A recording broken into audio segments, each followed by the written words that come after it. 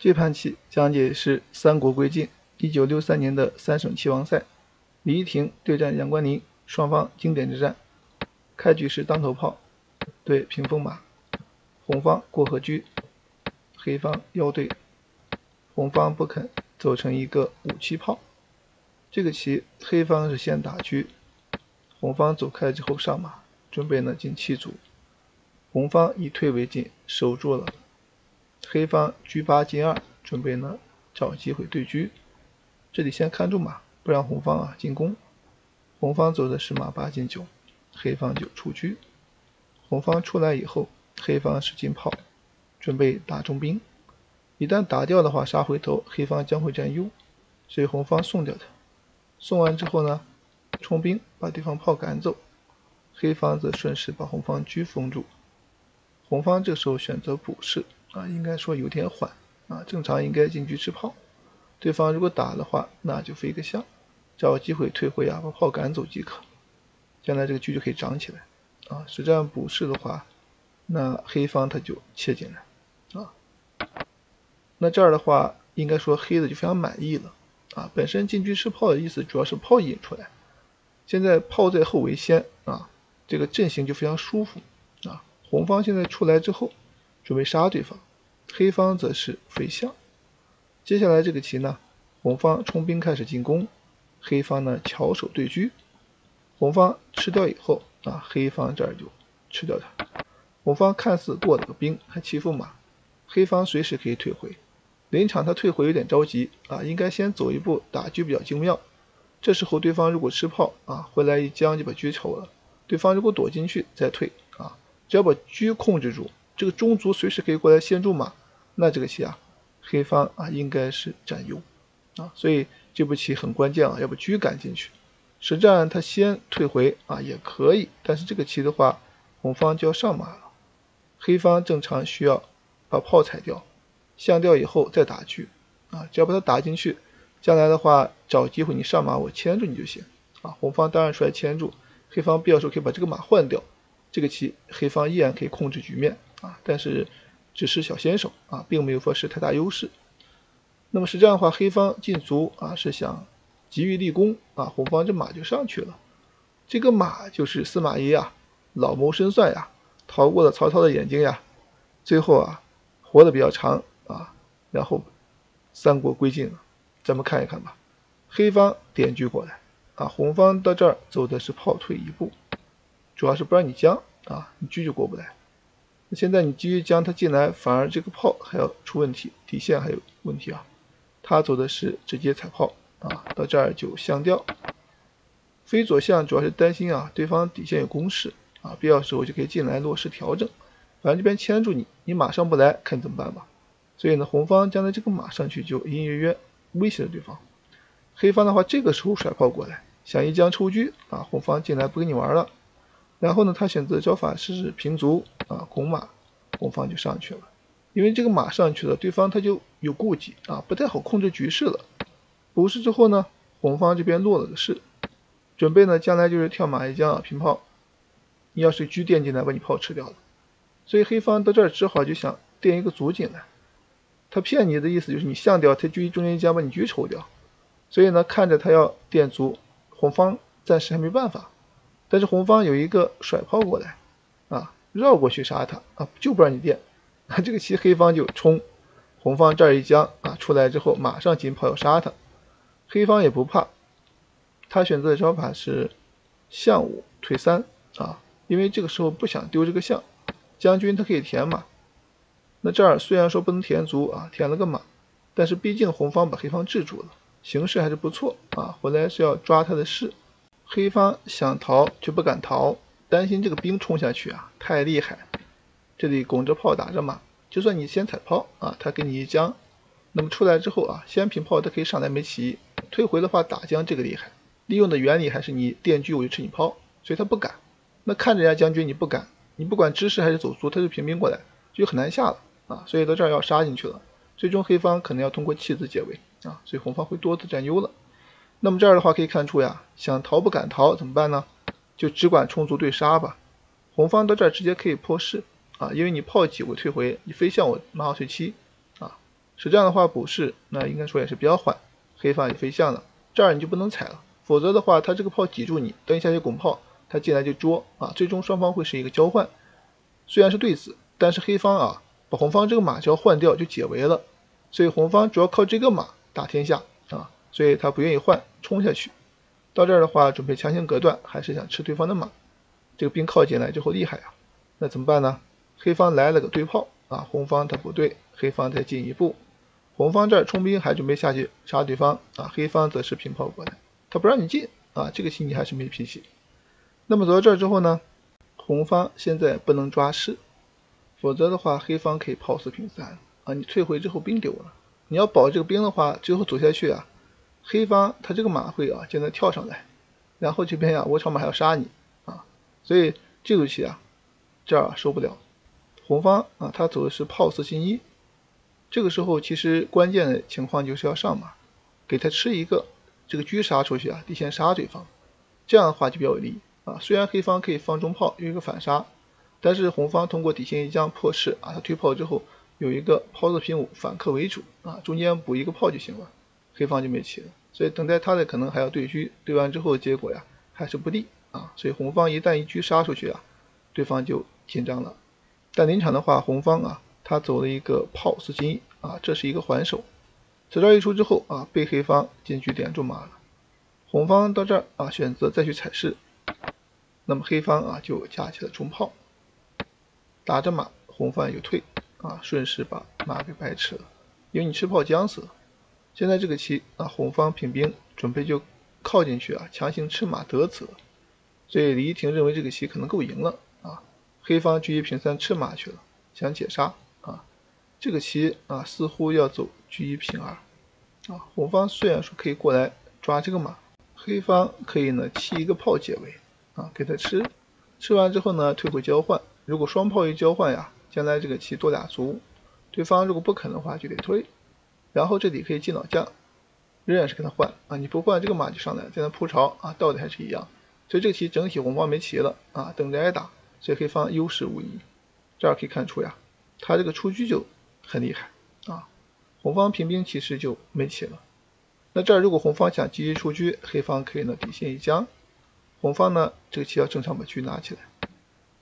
那追这样的棋，黑方该怎么办呢？到这儿啊很关键，红方是要甩车过来吃象啊，你要飞象点车吃马，这棋就危险了啊。那么到这以后，黑方很有可能会平炮，想抢杀对方。但是你一平，人家出来还是没有棋啊，就是你挡不住，怎么办呢？黑方这个关键招法就是先弃个卒啊，就不让你过去，你吃还是不吃？如果你吃掉的话，那么他平车过来吃马，将来先叫杀啊，你这一出来之后，他可以把马吃掉，但是呢，仍然阻挡不住对方呀，将来平车吃炮抵向将军的脚步，这样还是不利啊。但是他这个棋有一个妙手，就是点将啊，然后再吃回，这个就不一样了。当你准备杀他的时候呢，他可以将啊。那正常如果吃兵，人家底线还是杀棋啊。但是黑方有一个拍将，这个棋经典。然后呢打掉啊，这样你将军他可以退炮，你就没棋了。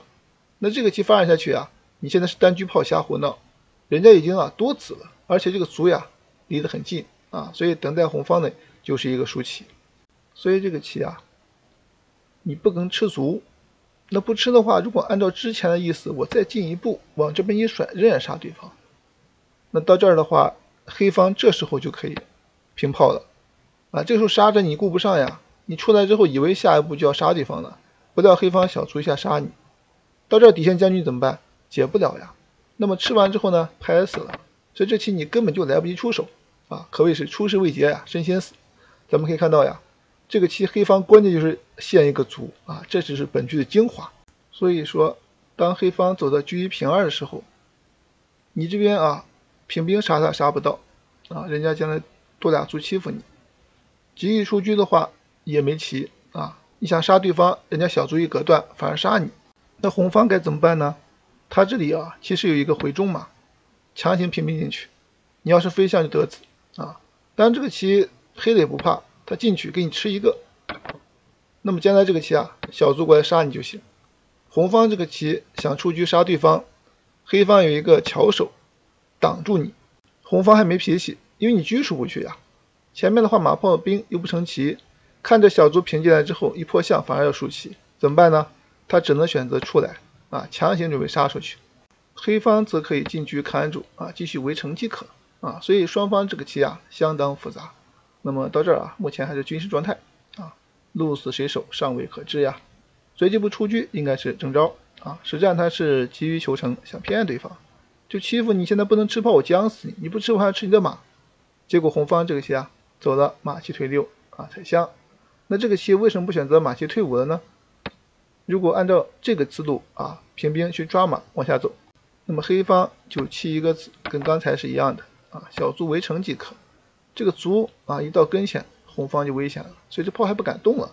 那么你出来想吃炮还吃不到啊，他可以选择进车看。那么这儿的话啊，就是防着你如果退一步，他甩炮回来打得起啊。所以这是一个选择，或者是一将。啊，一扣中炮，只要困住车就行了啊，他也不杀你，你也不杀他，所以这个棋啊，红方就不愿意了啊，他选择的是马七退六，准备呢强行去踩象，这个厉害呀，一旦一破象就杀进去啊，你要是飞象的话，这兵平你就要吃马，怎么办呢？黑方决定呀，这个子还是弃给他吧，让你吃啊，吃完之后还是按照之前的约定，他这个卒可以杀进来，主要意思就是将来你出老帅啊，车三进一，你利用不到他啊，这样的话就可以呢顶住。那这样的话，红方他是没有吃啊，先出来，这个意思在于呢，你现在如果车三进一，我就退炮打你，啊，你要是炮退一步，我就回马踩你，你要是平的话，那你被牵住啊，就不要动了，我随时一个闪身就杀你，所以这个棋啊，走的太妙了啊，他随时可以吃你的马，他不着急，你也不敢逃啊，因为你逃的话，这一杀直接要就杀透了，所以这个棋套路深呀，逼得黑方只好退了一步啊，红方这个棋呢，他。先把对方打掉啊，吃一个子，下一步再踩，并不着急。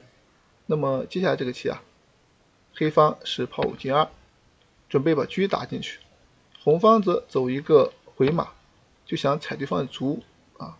那么这儿的话，正常啊是打车，但是的话，人家可以躲进去啊。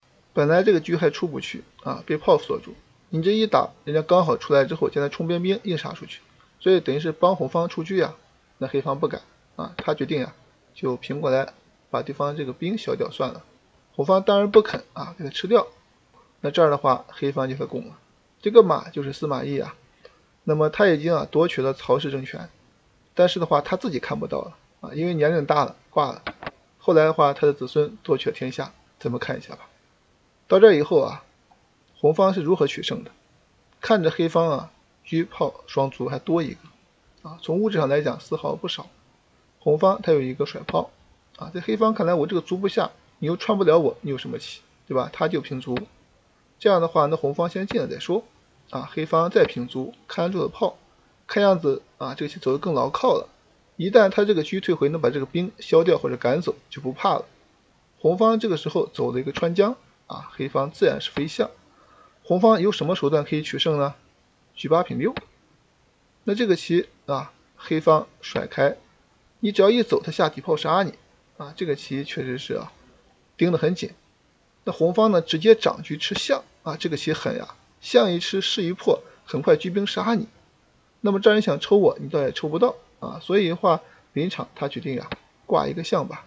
这里红方是平车过来，吃卒叫杀。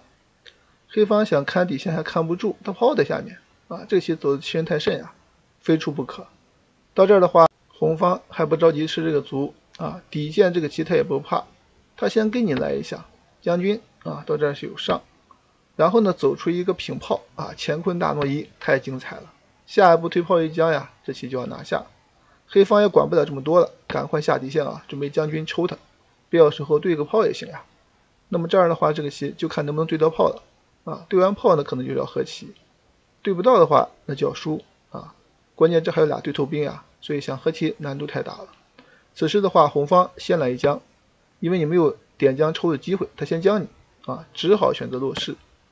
然后这儿你退车还来不及，那他将军抽你啊，把兵吃掉了。所以红方得先出一下，忍一忍啊。下一步棋退车呀，对方一下去或者上来一拱中士就完了。那么黑方点将啊，这里就上。到这儿他也没有更好的选择，只能先回来看着卒啊，见招拆招。红方到这儿啊，他没有退因为你退的话，他可能要守迎面啊。这个棋的话，你还得往过再甩，节外生枝啊，比较复杂。他直接走到车八平五，这招棋啊，要谋朝篡位啊，这时候厉害啊！司马昭啊和司马氏要夺权了，怎么办呢？红方啊上天啊逃走，黑方则退车追杀，看你往哪里跑啊！最终的话，对方确实是服了。那这样一来的话，三国归晋啊，这棋走的真绝。